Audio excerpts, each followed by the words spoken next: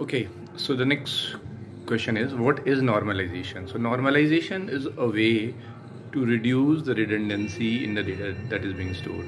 So, if you do not do normalization, there could be a possibility that the same data would be repeated n number of times. By doing normalization, we can reduce the duplicacy, thereby reduce the redundancy and improve the storage area.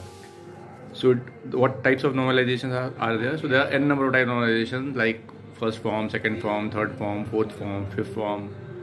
In fact, in, in, in all these between there are also a, a BCNF called Boyce-Codd normalization. So so so so normalization is used to do the redundancy. There are different steps to it.